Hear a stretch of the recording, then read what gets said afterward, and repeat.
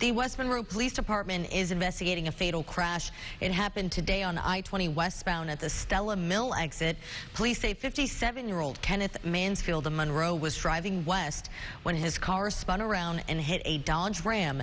Mansfield died at the scene. The passengers and the driver of the Dodge were taken to the hospital for non-life-threatening injuries. A seven-year-old was in that car as well, but the child was not injured.